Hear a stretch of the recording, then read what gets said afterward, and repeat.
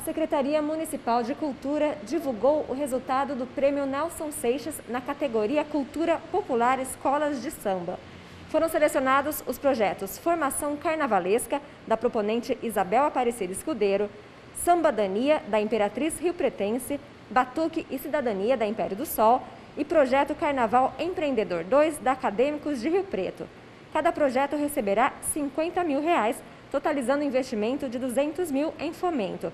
Os projetos devem contemplar atividades como organização técnica, formação de mestre-sala e porta-bandeira, criação e desenvolvimento de enredo, aulas de dança, entre outras atividades. Caso o carnaval seja cancelado em razão da pandemia, os premiados deverão apresentar adequações nos projetos. Outros eventos promovidos pela Secretaria de Cultura já foram cancelados e seriam realizados nos próximos meses, como o desfile de 7 de setembro e o Réveillon na represa municipal. Mariana Dard para a TV Câmara.